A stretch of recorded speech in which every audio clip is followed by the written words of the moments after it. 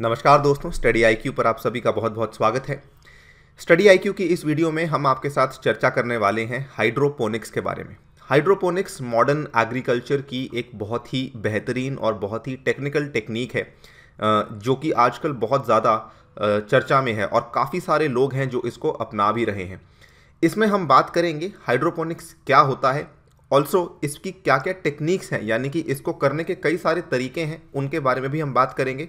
And also हम बहुत ही interesting discussion करेंगे इसके इतिहास के बारे में। यानी कि सबसे पहली बार दुनिया में हाइड्रोपोनिक्स कब शुरू हुआ? कौन से जो सिविलाइजेशंस थी, इन्होंने इसका, इसके ऊपर काम करना शुरू किया? एंड आज की डेट में ये किस लेवल तक पहुँच चुका है? और अंत में हम डिस्कस करेंगे इसकी एडवांटेजेस और इसकी डिसएडवांटेजेस क्या क्या होती हैं। चलिए स्टार्ट करते हैं मेरे साथ। मेरा नाम है अनिरुद्ध। यदि आप लोग इस लेक्चर की पीडीएफ को डाउनलोड करना चाहते हैं तो मेरे टेलीग्राम चैनल से कर सकते हैं। इसके अलावा सोशल मीडिया पे भी आप मेरे साथ जुड़ सकते हैं। स्टडी आई क्यू ऐप को डाउनलोड ज़रूर करें फ्रॉम गूगल प्ले स्टोर और ऐप के आपकी यूपीएससी की तैयारी को आसान करने के लिए हमने कई सारे कोर्सेज लॉन्च किए हैं। यदि आप 2021 के प्रीलिम्स की तैयारी कर रहे हैं तो पास्ट प्रीलिम्स डिस्कशन के नाम से कोर्स को ज़रूर बाय कीजिएगा। इसमें हमने पिछले 10 साल के पेपर्स को डिस्कस किया है। ऑल राइट सो एक चीज़ आई थिंक हम सभी बच्चों को मालूम है और ये चीज़ हम काफ़ी समय से पढ़ते आए हैं। एवर सिंस अवर स्कूल हमने देखा है कि प्लांट्स जो ग्रो करते हैं they grow through a process called as photosynthesis और फोटोसिंथेसिस में जो इंपॉर्टेंट कंपोनेंट्स होते हैं, वो होता है सनलाइट होती है क्लोरोफिल और ये जो सनलाइट और क्लोरोफिल है, ये बेसिकली कार्बन डाइऑक्साइड और वाटर को कन्वर्ट करती है ग्लूकोज और ऑक्सीजन में. इसकी बड़ी लंबी सी रिएक्शन होती है, जो हम आई थिंक सभी को याद भी होगी। नाउ इसमें जो पानी आता है और जो न्यूट्रिएंट्स आते हैं प्लांट के पास, वो कहाँ से आते हैं? वो आते हैं सॉइल से, यानी कि मिट्टी से। ये जो पानी और न्यूट्रिएंट्स देने का काम सॉइल करता है, इस चीज़ को रिप्लेस भी किया जा सकता है। यानी कि हम सॉइल की जगह कुछ और चीज़ भी इस्तेमाल कर सकते हैं। और इसी आइडिया से बेसिकली स्टार्ट हुआ था हाइड्रोपोनिक्स का आइडिया खैर जो नॉर्मल प्लांट्स हैं, जो कि आजकल हम देखते हैं, जो हमारे बड़े बड़े खेत हैं इंडिया में या फिर दुनिया भर में, ये बेसिकली सॉइल के ऊपर रिलाई करते हैं। मिट्टी से इनको अपने प्लांट प्लांट को न्यूट्रिएंट्स और पानी मिलता है। आप यहाँ पे देख सकते हैं किस तरीके से एक नॉर्मल प्लांट ग्रो कर रहा है। ये आपको सूरज से मिली लाइट एनर्जी ठीक है? और आपका कार्बन डाइऑक्साइड जो है, ये कन्वर्ट हो गया ऑक्सीजन में और ग्लूकोज में। और नीचे जो सॉयल था, इसने रूट में से आपको पानी और मिनरल्स यानी कि न्यूट्रिएंट्स देने का काम पूरा कर दिया, जिसके थ्रू आपका प्लांट जो है वो नर्चर हो रहा है और बढ़ रहा है। लेकिन हाइड्रोपोनिक्स केस में ऐसा नहीं होता। अगर ब्रीफली बात करें तो हाइड्रोपोनिक्स में आपका जो पानी और न्यूट्रिएंट्स प्रोवाइड करने वाला सॉइल था, उसको हमने एक विकल्प से चेंज कर दिया और इसीलिए इसको कभी कभार सॉयललेस फ़ार्मिंग के नाम से भी जाना जाता है।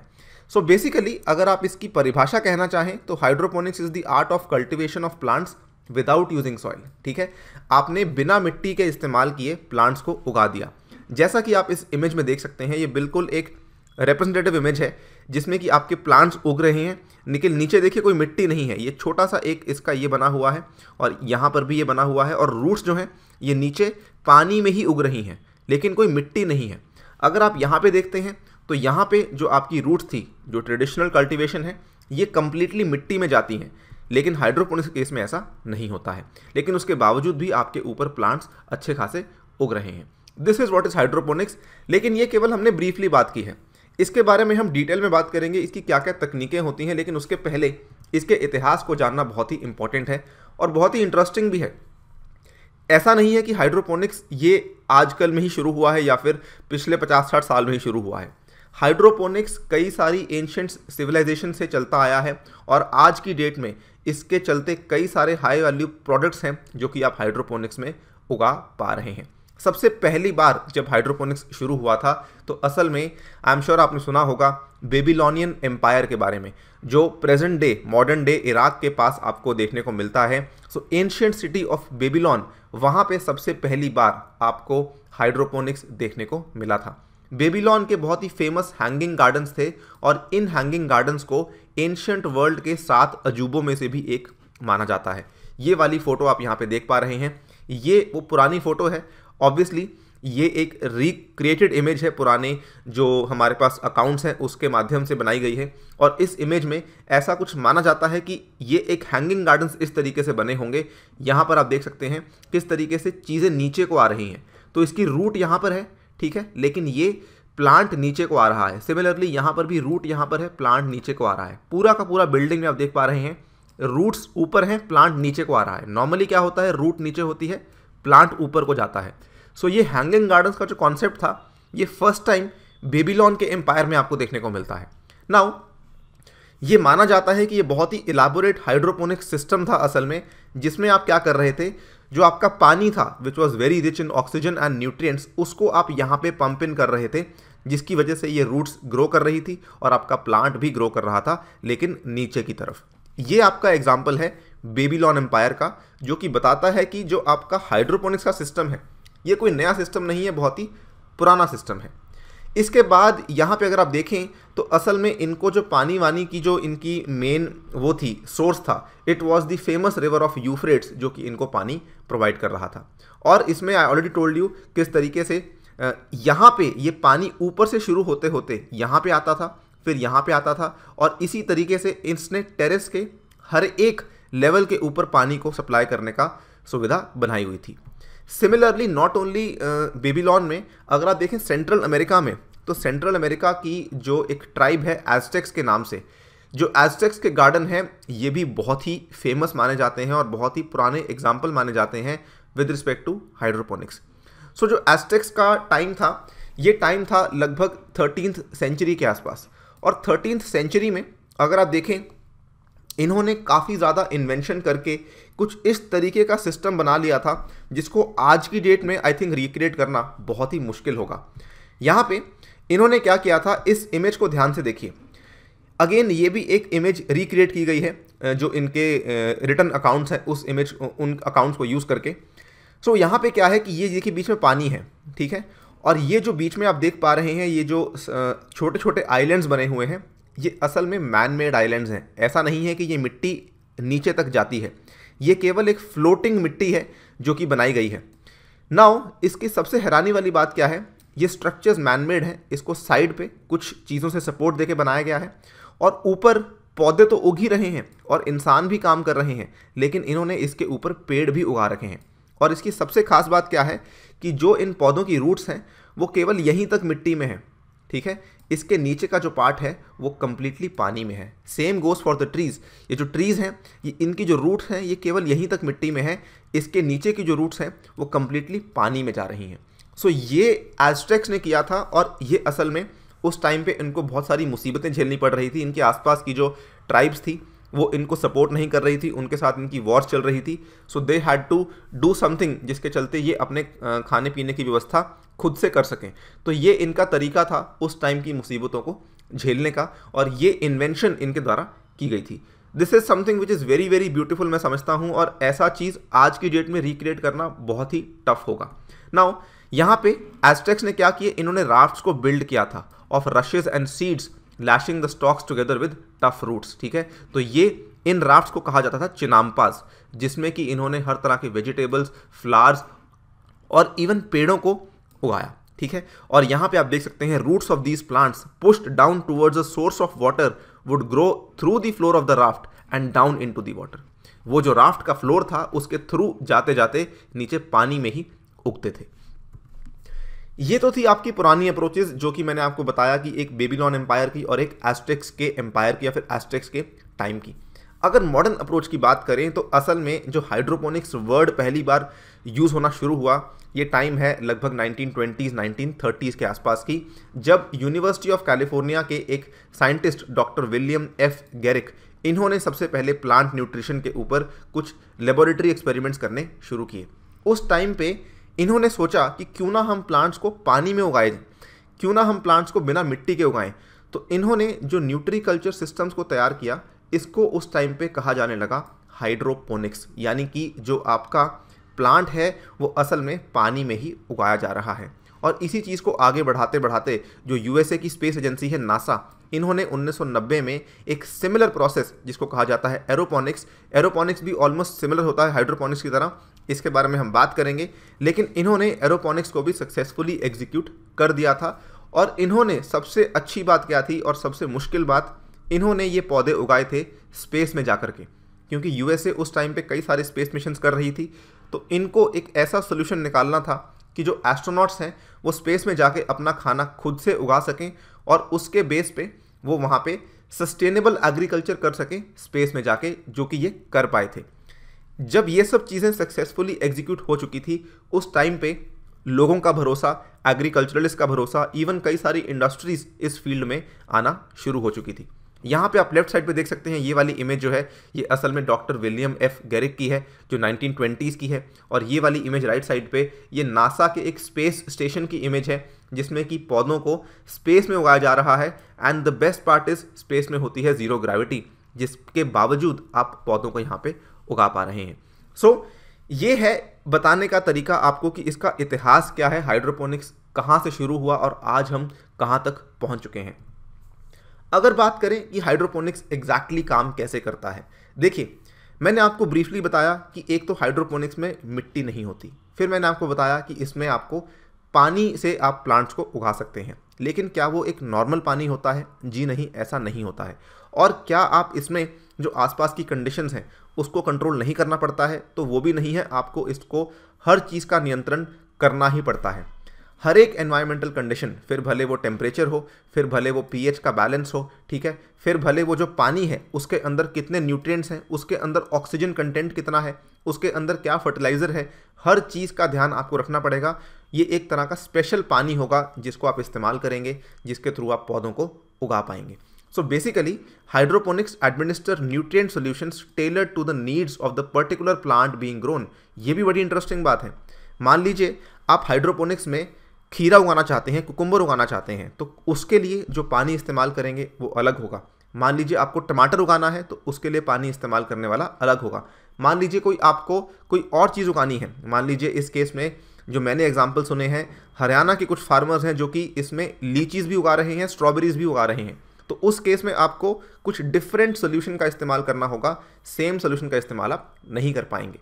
सो so, इसमें डिपेंडिंग ऑन द प्लांट आपको अलग अलग तरह का न्यूट्रेंट देना होगा।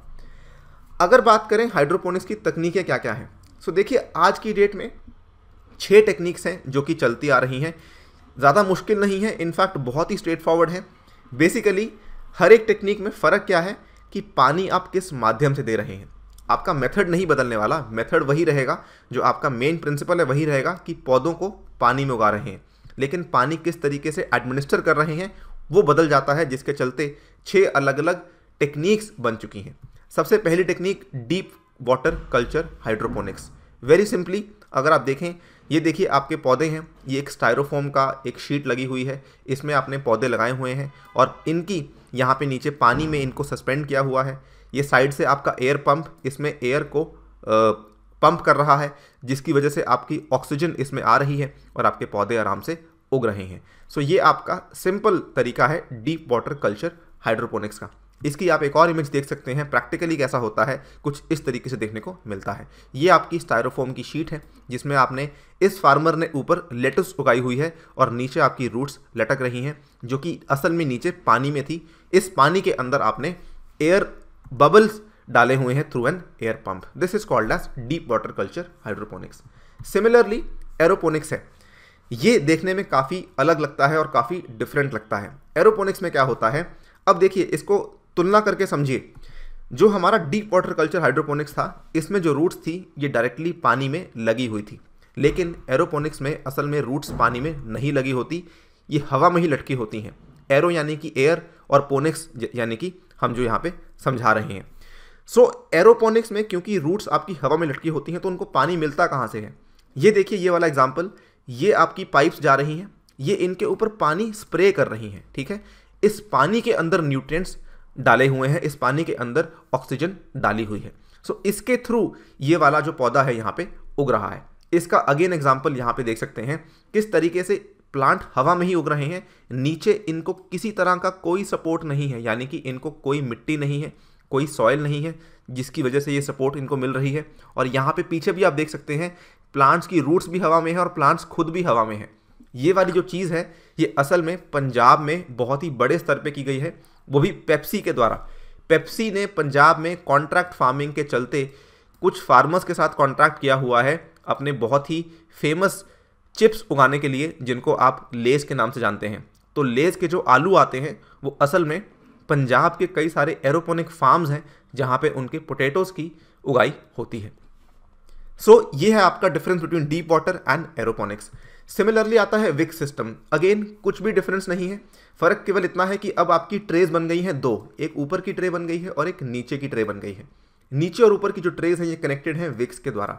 और ये विक्स के थ्रू बेसिकली यहाँ पे आपने एयर पंप डाला, इसमें आपका एयर स्टोन यहाँ से एयर बबल्स आए, इस पानी में ऑक्सीजन आ गई, और इन विक्स ने, इस ऑक्सीजन वाले पानी को इसमें ट्रांसफ़र कर दिया। आपके जो प्लांट्स हैं, वो यहाँ पे उग पा रहे हैं। सो so अगेन है कुछ भी नहीं, बस आपने एक ट्रे की जगह अब दो ट्रेज लगा दी हैं। आपने स्टायरोफोम नहीं इस्तेमाल किया, आपने डायरेक्टली पानी जो है एक ट्रे से दूसरी ट्रे में भेजना शुरू कर दिया।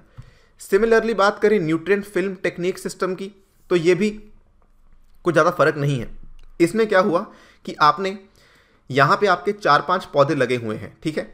अब साइड से आपने क्या किया? साइड से पानी फ्लो करना शुरू करता है। इस पानी के अंदर न्यूट्रिएंट्स हैं, इस पानी के अंदर ऑक्सीजन है और ये जो फ्लो करता हुआ पानी है ये इन पर्टिकुलर रूट्स को टच करते हुए जाता रहता है।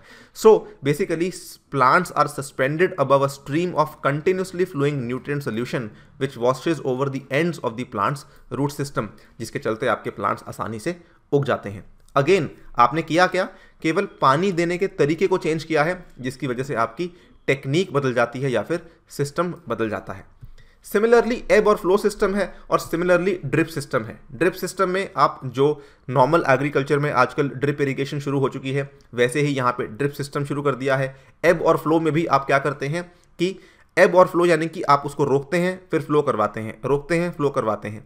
ये चीज़ भी आप कर सकते हैं। अगेन केवल पानी देने का तरीका आपने चेंज किया है, कितने समय तक देना है, किस प्लांट को देना है, इन सब चीज़ों को चेंज किया है, जिसके चलते तकनीकों के अलग अलग नाम रख दिए गए हैं।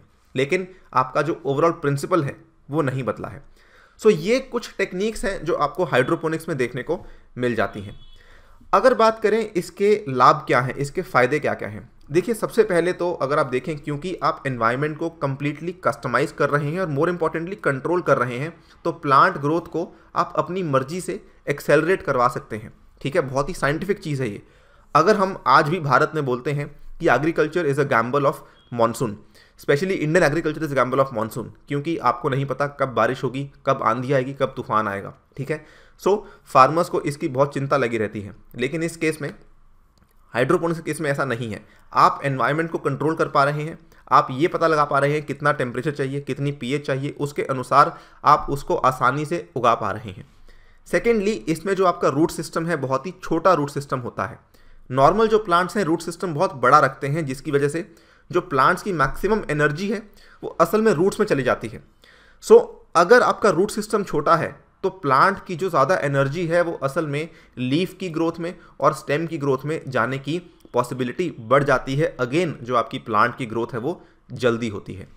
इसके बाद अगर आप देखें क्योंकि मैकेनिकल रेजिस्टेंस नहीं होता है सॉइल का तो आपकी सीडलिंग्स बहुत जल्दी मेच्योर कर सकती हैं। इसके बाद जो सबसे बड़ा एडवांटेज जिसके चलते आज कई सारे लघु उद्योग हैं जो कि हाइड्रोपोनिक्स में आने की कोशिश कर रहे हैं वो यही है कि इन प्लांट्स को आप कम एरिया में ज़्यादा प्लांट्स उगा सकते हैं और ज़्यादा यील्ड ले सकते हैं।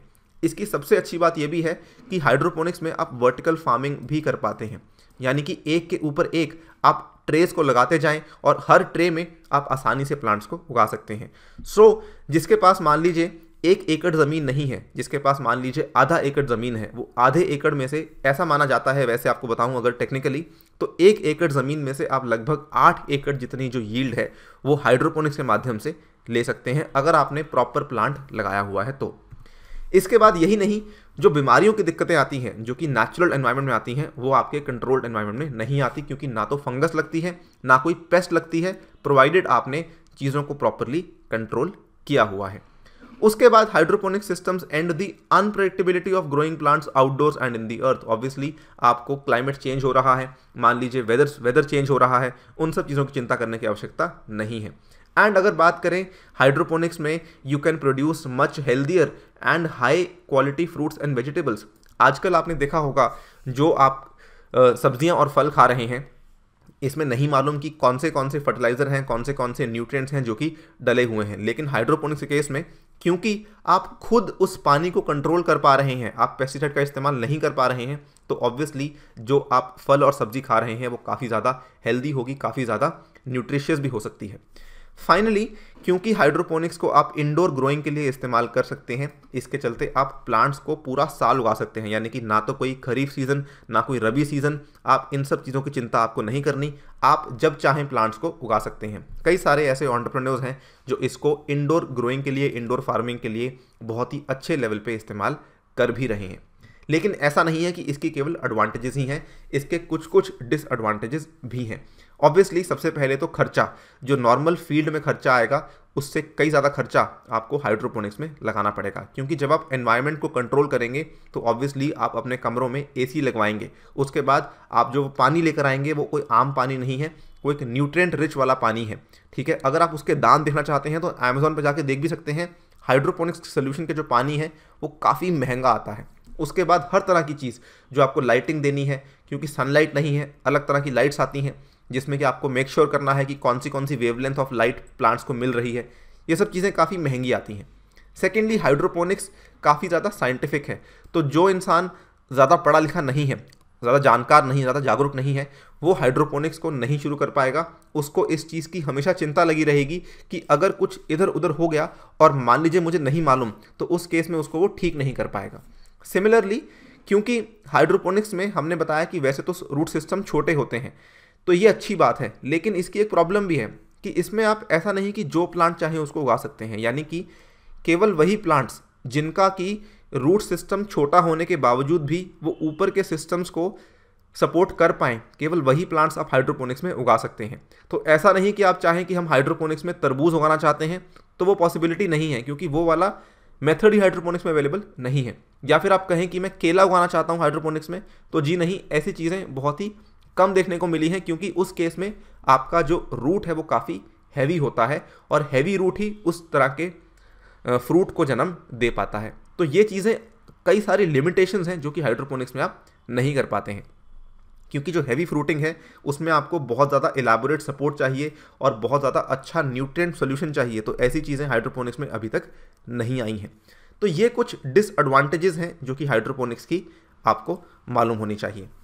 फ़िलहाल हम वीडियो में इतना ही रखते हैं, लेकिन आप हमें कमेंट सेक्शन में बताइए कि क्या आपको लगता है हाइड्रोपोनिक्स एग्रीकल्चर का फ्यूचर है और क्या आपको लगता है सरकार को इसमें कुछ स्टडीज़ करनी चाहिए, कुछ अध्ययन करने चाहिए और इसको एक बड़े स्केल पे, बड़े स्तर पे लागू करने की कोशिश करनी चाहिए। इसी के साथ आपसे लेता हूँ विदा। Thank you for listening stay tuned and stay safe